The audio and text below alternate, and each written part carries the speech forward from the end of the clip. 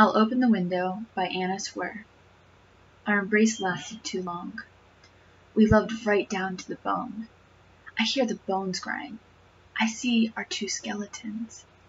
Now I'm waiting till you leave, till the clatter of your shoes is heard no more.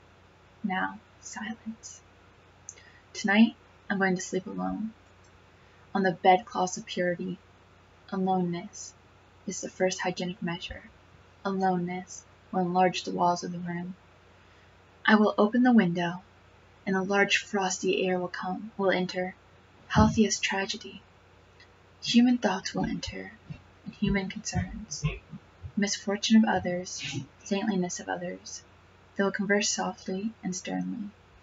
Do not come any more. I'm an animal, very rarely.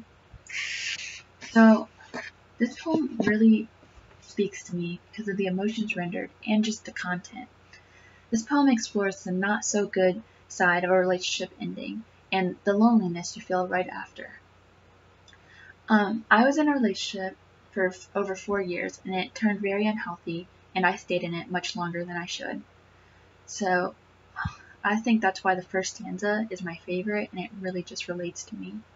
Our embrace lasted too long. We loved right down to the bone.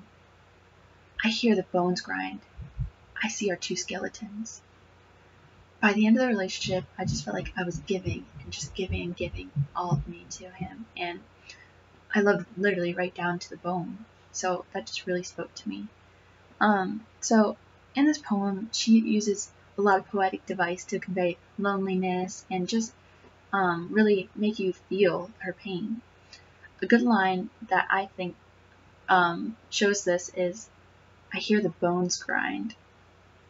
Imagine the just two bones grinding together. That just makes me feel pain. Um, she does a great job showing aloneness. And first off, she repeats aloneness twice.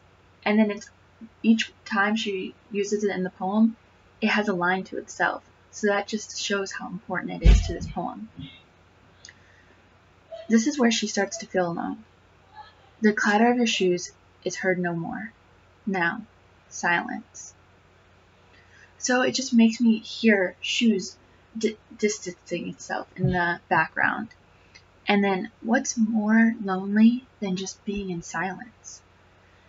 Um, so she also says, Tonight I'm going to sleep alone. She's alone. She feels alone. Um, Aloneness will enlarge the walls of the room. Imagine just feeling so small in a big room. Now, one of the most important parts of this poem is the line where she actually uses the title. I will open the window, and the large frosty air will enter. It's like she tries to open the window to let the aloneness out, but instead, all that is welcoming her is frosty air. That just gives me a chill. She uses a paradox in this poem. Healthy as tragedy. Normally you would never think tragedy and healthy would go hand in hand, but in this instance it does. These feelings she's feeling is perfectly healthy and good. She's letting these feelings come to her after this breakup, which is emotional time for her. Um, now, here's interesting lines to me. Human thoughts will enter, and human concerns, misfortune of others, saintliness of others, they'll converse softly and sternly, which is obviously an example of personification, beautifully done, by the way. And um, to me, this really relates because now that she's alone, she's actually letting her thoughts come to her, and other people's thoughts and concerns are coming to her too, probably her family members. Because when I was in my relationship, I was being so stubborn. I didn't. I I had concerns, and I didn't. I didn't listen to them. My family, my friends had concerns. I didn't listen to them until after we broke up, and then I realized that I had all these concerns and all these thoughts, but we're keeping them bottled away. And my friend would tell me things, and it would just go in one ear and out the next. So those lines really spoke to me. Now, the last part I want to talk about is do not come anymore. I'm an animal, very rarely. That is how she ends the poem. Wow, that's very strong. Um, I think that kind of leaves some interpretation for whoever's reading it. How I interpret it is that he brought out this animal side of her. And I can relate. My ex, he brought out this side of me that I'm I never saw. And I did once I was done with him, I did not want him to come around.